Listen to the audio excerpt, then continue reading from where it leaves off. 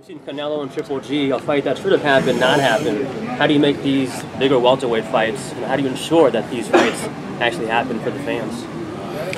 Um, I mean, one, you know, you you guys can keep talking about it, you know. Um, two, um, Al Haymon has a plethora of welterweights, which at his stable, which I believe there should be no hesitation to make the fights happen. We're making this fight happen right now.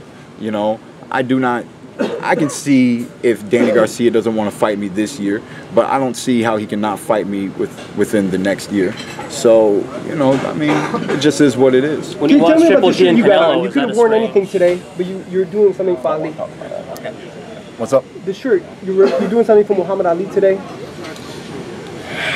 Yes, you know, you know me. I, I did not do this by accident. I know. You know, so um, Muhammad Ali was considered to be the greatest, and um, you know, it is that form of greatness that I strive for.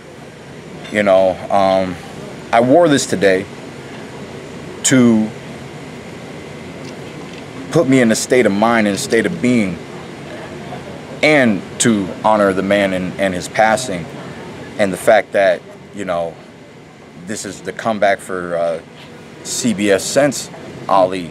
So, but the one thing that I hold as I wear this shirt, and what's in my mind as I'm preparing for this fight, and as I'm preparing to perform Saturday night, and with all the questions that you guys have been asking and will continue to ask, you know, I'm gonna show you how great I am.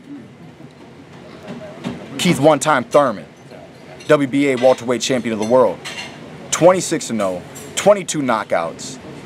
For those who don't know, another reason why this knockout is very important is because my favorite number is 23.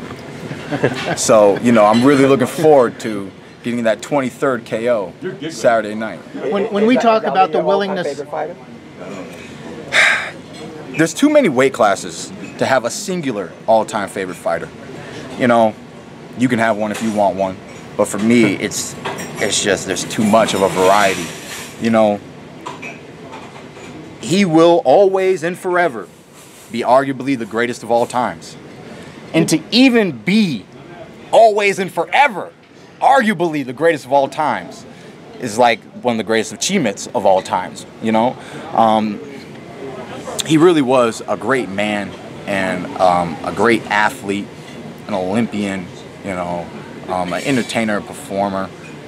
I mean, admired and loved by many, um, feared by few, you know, and um, you know, like I said, man, I watched him, and I watched him develop his legacy, and other fighters after him, and there were fighters before him, and then now, I believe that well, we know, we know, and it's in my name too. We have this one time, this one opportunity, this one shot to create the legacy of Keith One Time Thurman.